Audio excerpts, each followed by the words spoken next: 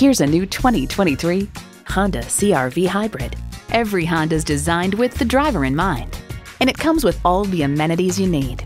Inline four-cylinder engine, dual zone climate control, streaming audio, steering assist cruise control, front heated bucket seats, doors and push-button start proximity key, external memory control, express open and close sliding and tilting sunroof, wireless phone connectivity, and continuously variable automatic transmission.